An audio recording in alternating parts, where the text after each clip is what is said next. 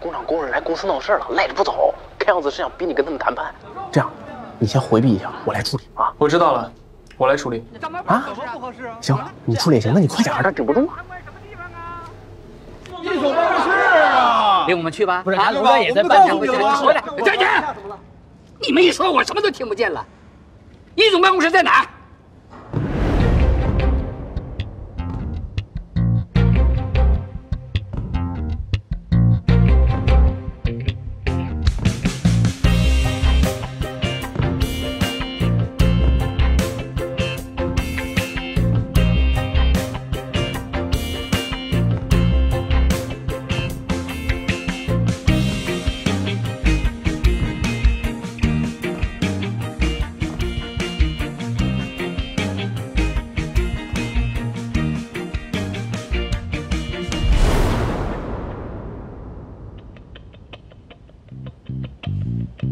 都去工作，把门关上。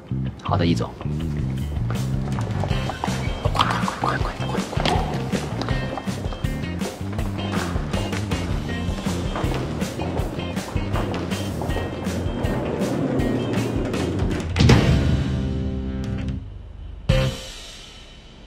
说吧，你们只有三分钟。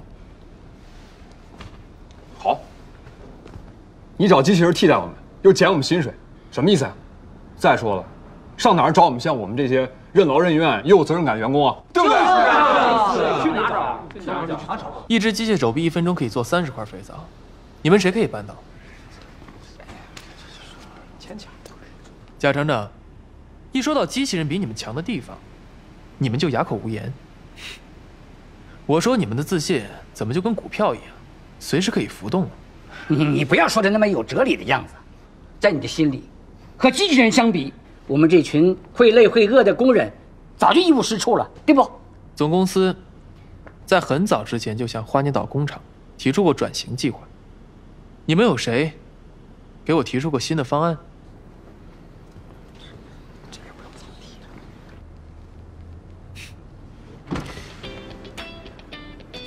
如果转型观光工厂，你们觉得游客是喜欢听老员工讲故事？还是机器人。如果再加上手工肥皂的教学课程，你们觉得游客是喜欢老员工教，还是机器人教呢？这不都是你们的优势吗？可你们呢，只会怪我砸了你们的饭碗。谁给我提出过新的计划？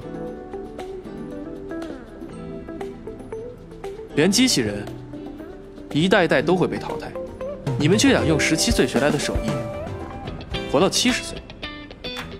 如果我是你们，我不会这么着急跟老板谈判，而是会让老板看到我的价值，而不是一味的愤怒。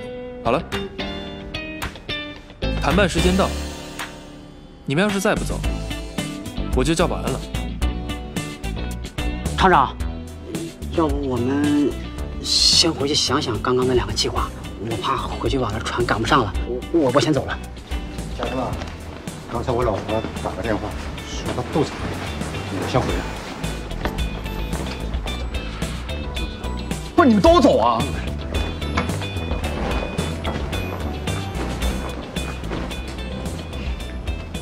爸，要不咱也回去吧资产把它收了，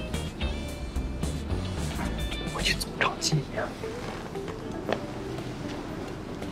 好，你就等着看我们新的价值，别到时候。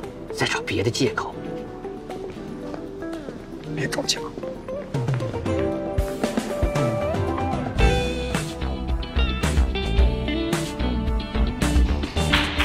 你家谈判技巧真是高啊！我在外面我都听见了。